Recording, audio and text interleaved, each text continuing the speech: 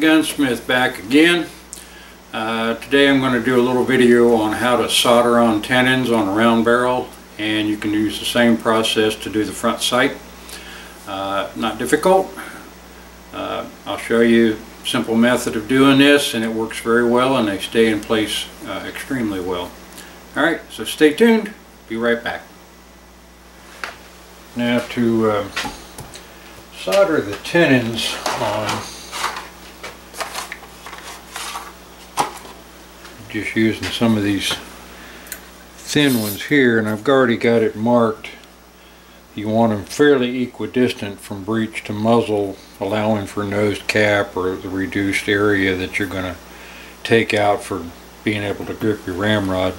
This is a, a 41 inch barrel so I've got them spaced at 10 inches 23 inches and 38 and a half inches.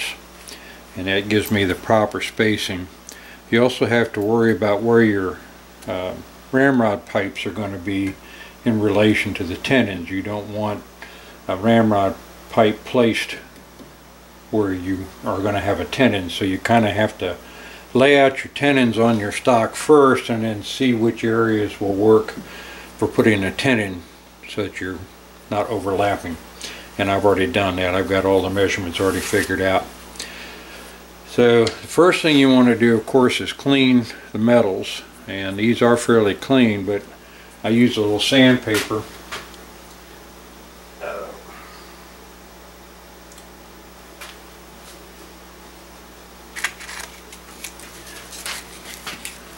And just scuff up the inside of your tenon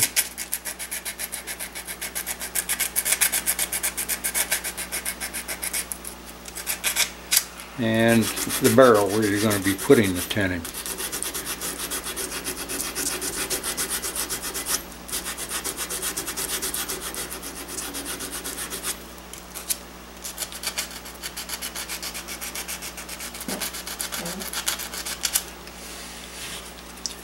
Alright, so got those two. Now if you want to, you can put a little mark on the side of the barrel where you want that since I just took that one off. But I know pretty much where it's going to be. Now the next thing will be to flux this. And you can use various fluxes. Uh, paste solder works fine. Just paint it on both sides. But what I've come to use and like a lot is this Oatey number 95 it's a lead-free tinning flux so it's got tin in it as well. So that will help everything stick together. Now this didn't have enough tin in it uh, for my uh, use so I add powdered tin to some of this. And it's it's whatever formula works good. I've got some here. I took some of that Oatey 95 and then mixed in uh, oh two or three tablespoons of the powdered metal to give it a little bit more tin in there. And what you'll do is simply coat the barrel and the tenon with this stuff. And I put a good amount on there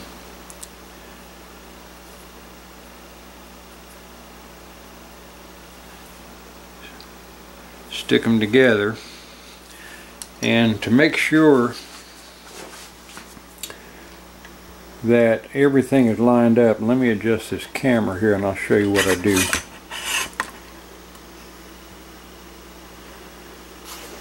Down at the far end of the barrel I've got flats. So I put what's called a winding rod in old terms. Basically just a ruler. And I'll sight along the tenon and get it perpendicular to my winding rod down there. Let me get in your way for a second. Okay, that's pretty good actually.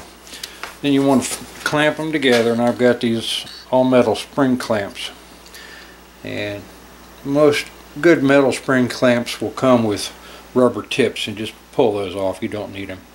Now all we do is heat this up until we start to see the flux running.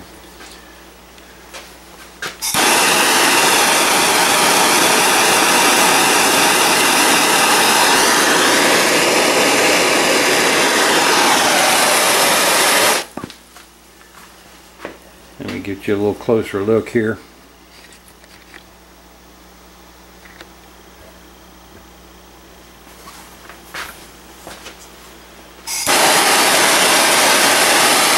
I've got some lead-free solder here too. That once I see that tinning running out of there, you can go in and just put a little bit of lead-free solder around the edges.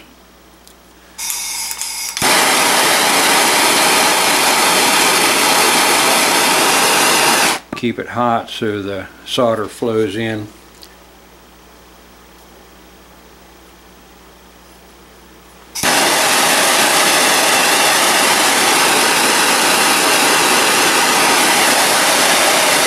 And that's about it. We'll just let that cool. In the meantime, if you've got more clamps, you can work your way on down.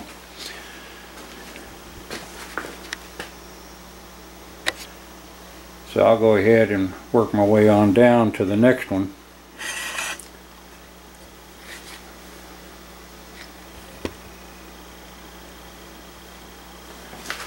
Which I've got placed right here.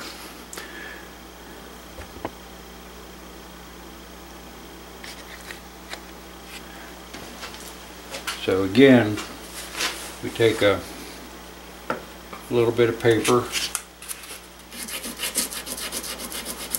clean the two.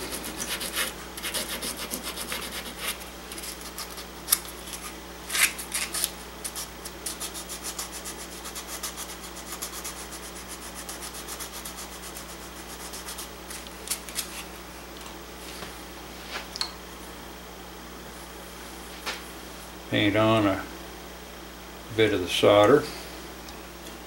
You don't have to use this tinning solder. I mean, regular solder would work fine. Uh, once you've got it fluxed and you see it's heating up good, just use your um, wire solder like I showed you around the edges. And once again, I'm going to line this up by sighting down.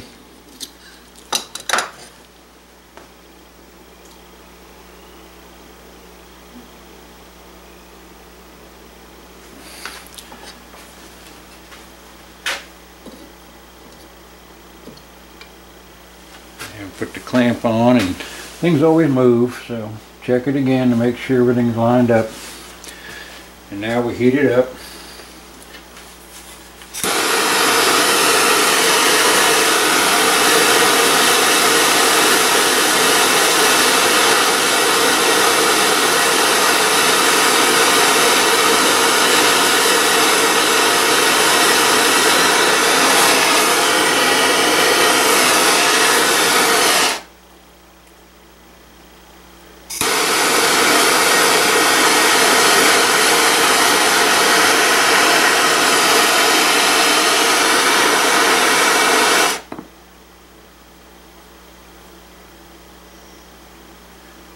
and a little solder around the edges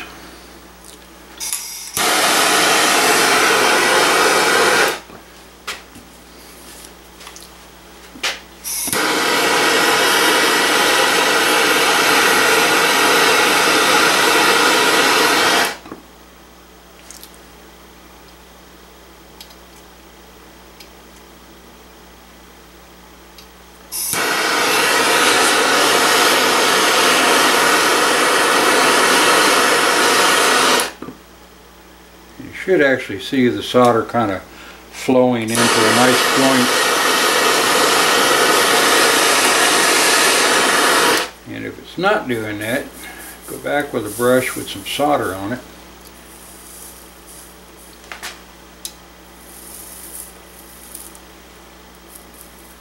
And sort of paint that.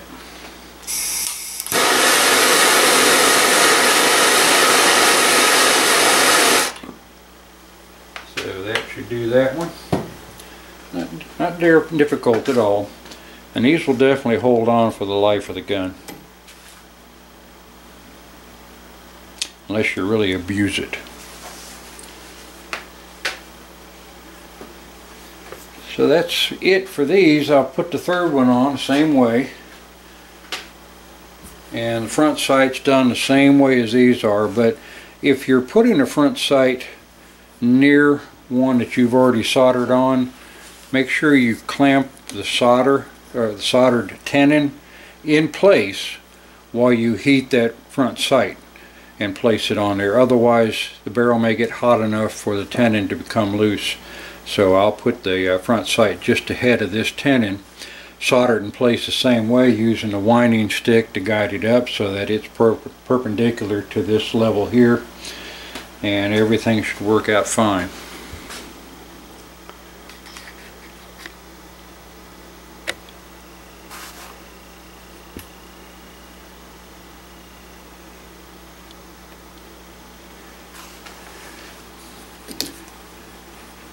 Now if you're uh, going to solder on a front sight, uh, I'll solder mine on just ahead of where the front tenon is and I will also clamp that front tenon again making sure it doesn't get overheated and fall off while I'm soldering the uh, front sight in place. And you would line it up the same way you did tenons just put a winding rod, a ruler, whatever down there at the far end on the flat to give you a, a, a good surface that you can then sight on and make sure that your front sight is perpendicular to the rear of the barrel.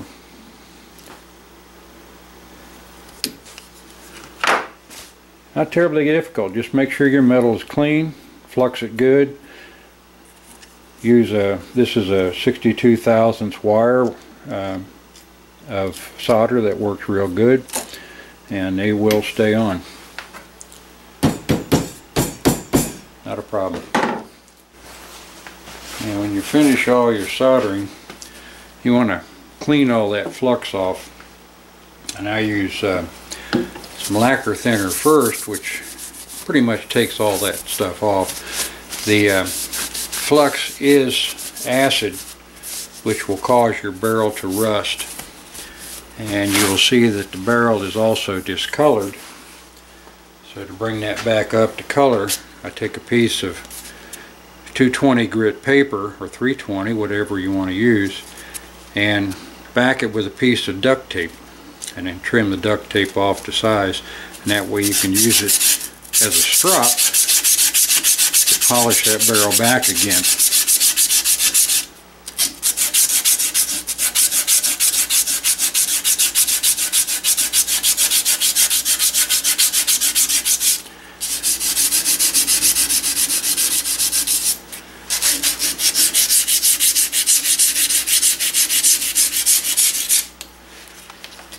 get up in the edges by doing this. Not real important because you're not going to see the bottom half of the barrel, but it does, eh, just cleaner job.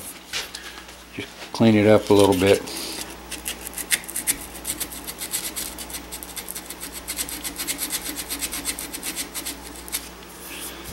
So that's all you've got to do. That duct tape on the back is an ancient idea of a lot of machinists and gun makers do that. Now if you look down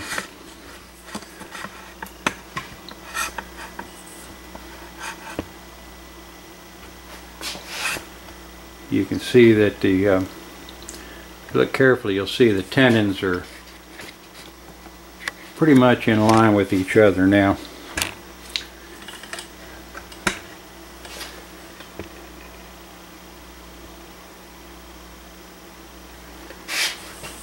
Trying to get this lined up so you can see it well. There we go. So it's one, two, three, and I'll go and clean up these other two the same way I've done this, and of course when you do your front sight, same thing. Soldered on, remember to clamp your rear, your front tenon down, and when you heat up here you won't loosen this.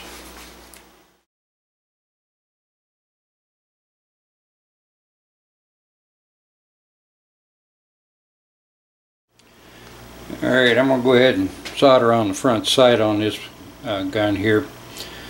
Uh, again, I'm going to use the winding stick down at the far end.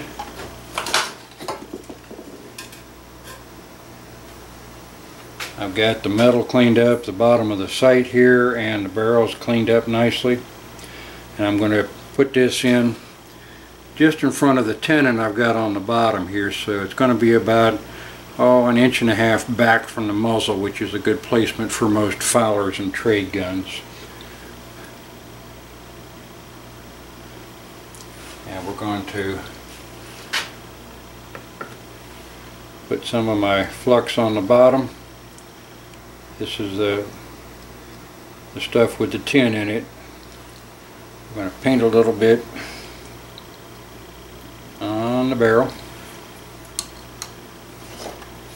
And now I want to make sure that I hold the front tenon in place when I solder this on so that front tenon doesn't want to fall off.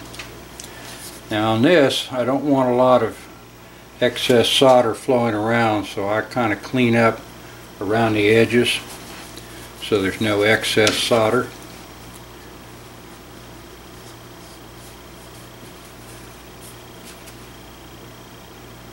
Saves you time scraping and sanding away all that excess later. Put my clamp on and then I'm going to get in your way and sight down this barrel so I can get that front sight straightened. It looks pretty good. So now we'll heat it up.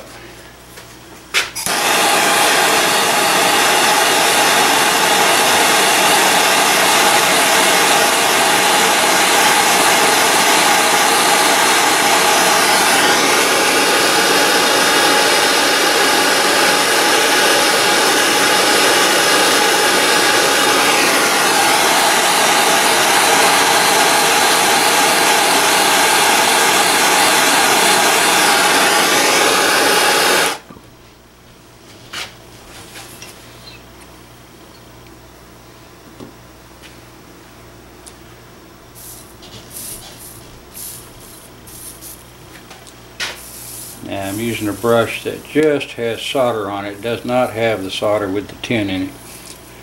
I just want everything to flow nicely.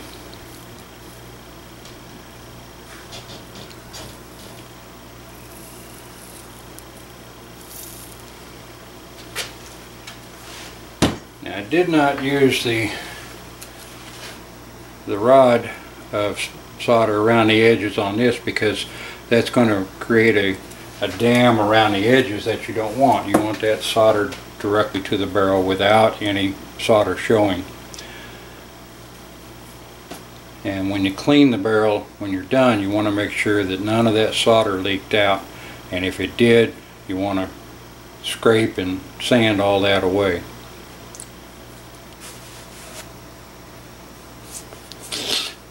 If you don't have this solder with the tin in it for this application. Use regular solder, but tin the underside of your front sight by putting flux on it and then putting a, a little dab I'm going to slide out here. Let me grab a front sight real quick and I'll show you what I'm talking about.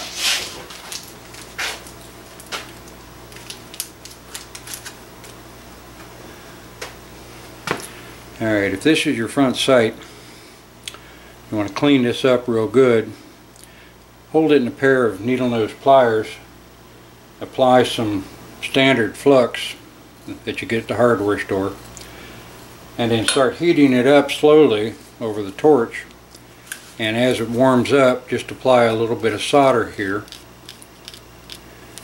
And every once in a while go back with your flux brush and just smooth that until you see a nice coating all the way around. And you want to build it up a little bit because you want it to uh, adhere to the barrel too so you want enough for both sides of this joint.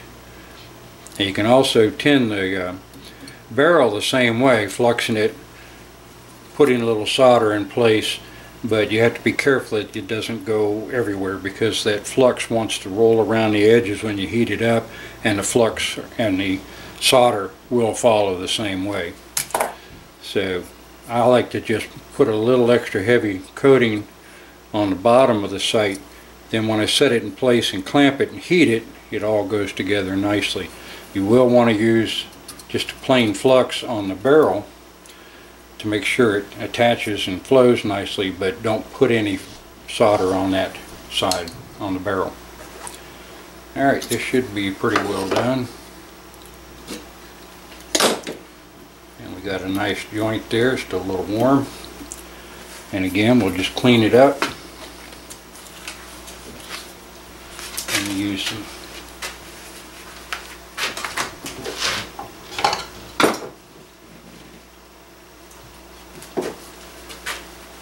Use a little lacquer thinner first.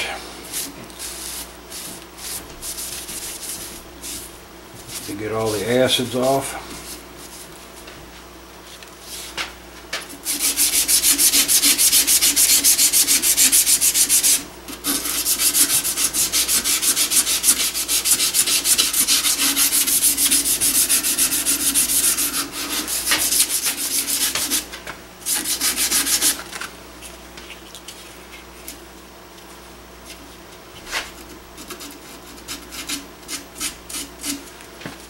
This is the part that I, I hate. There's no real good way to get in there and get the edges of this and have the lines still going around the barrel. On 18th century weapons, they did not go to this stropping method. All barrels were sanded and filed front to back and so you will see those marks left behind. This is something we do now because the barrels are so round that this works. In the 18th century, when you're talking about a hand-filed barrel, it's not going to be as nice a radius on these barrels. So you had you just went ahead with the length because that's the way you filed it, that's the way you finished it.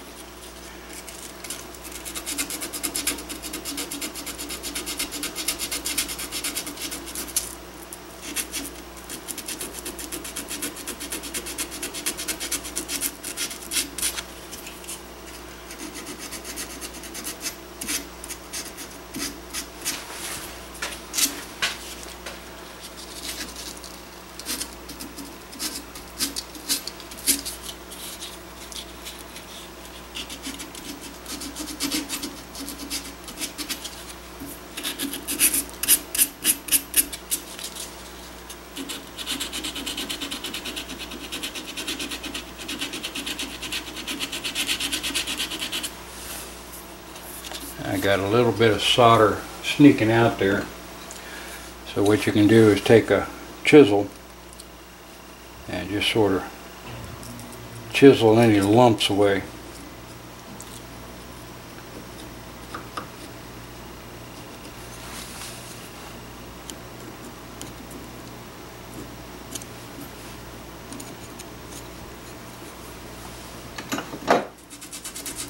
Another thing you want to do is since you've cleaned all that flux off with the lacquer thinner or whatever you're using, that means you've also removed the oils, the preservatives on the surface of the metal. So when you're done, go back and oil that barrel. Even if you plan to brown it, blue it, whatever you're going to do later, you still want an oil finish on there that you can remove again later because if you don't, this being so clean, it's just going to start rusting on you very quickly. So this could use a little more cleanup, but we're pretty much there. There's the front sight. Like I said, just a little more cleanup, which you know, I'll probably do. Uh, on my guns, I'll do that before I do any finishing of the barrel.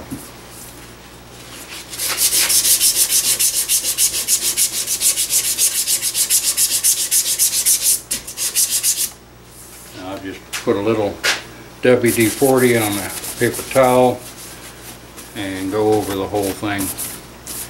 just a front side is on.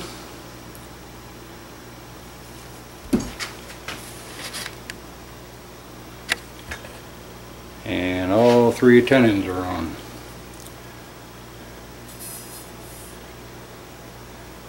So this would be ready to mount into stock now at this point. Alright, so there we have tenons soldered on. Uh, each one takes about three minutes to do. And uh, if you have numerous clamps like I do you can get them all done very quickly. While the front, front one's cooling you're doing the second one and so on and so forth. And you can even flip it around with the uh, clamps on it and do the front sight if you've got a fourth clamp. So again just make sure the metal's clean when you start file it if you have to if there's any rust or any debris on it. Um, clean your barrel good flux it good and use a good solder. Uh, you don't have to use silver solder. The old timers never did. Uh, if you, as long as you make sure that the solder is flowing underneath and that's why I like that that uh, Oatey 95 stuff because I know there's tin in that and that's going to help that solder that I put around the edges to flow in underneath and give me a good solid uh, secure joint there. You also want to make sure your tenons fit pretty well. If you've got any gaps in there and you're relying on the solder to fill that and hold it, it's not going to be as strong as just a thin layer of solder. Alright, so make sure you got a good tight fit. If you have to bend the wings a little bit on those tenons to make them fit, do it. Um, other than that, not much to it. Uh, hopefully you enjoyed this and hopefully it helps you out. So until next time, y'all take care.